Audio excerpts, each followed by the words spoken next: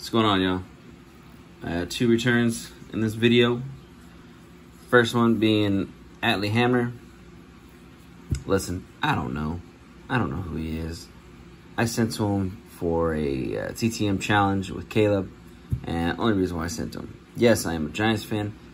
This dude played back when I was not even born yet.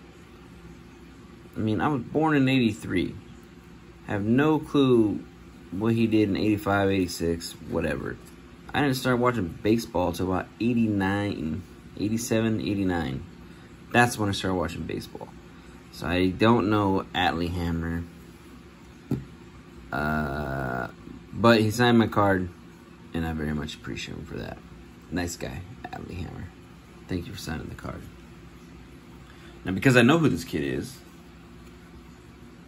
I knew where to send and I knew what I was gonna do with this. I was super stoked. I was like, yeah, I'm sending it to him. Look out.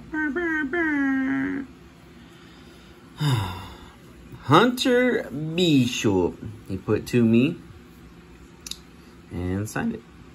So, thank you, Senor Bishop. Uh, this kid I tried to see him last season when he played for the uh, Salem Keizers out here in Oregon, but I didn't get a chance to see him because he wasn't playing that game. As a matter of fact, he didn't even show up that game. He, uh, I guess he was just not there to play. Uh, as a matter of fact, him or uh, Fabricio something or other. I don't know. Whatever. Marcos something. Ah, who cares? Whatever. Listen, they both weren't there, so I didn't get a chance to see him actually play live. I kind of feel like he was a Beaver. Uh, Oregon Beaver.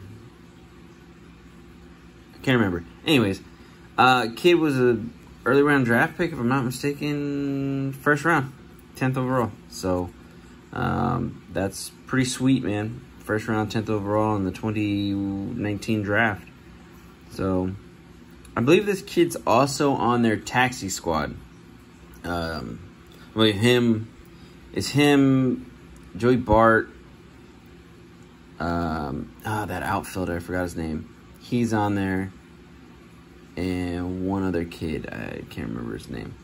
But they're all on the taxi squad. So, yeah, man, this is cool. Uh, it took a two months, maybe two months. Let's say two months. Took about two months to get this one back. So thank you very much, Mr. Hunter Bishop and Mr. Atlee Hammaker. Thank you everybody for watching. Hope you enjoyed.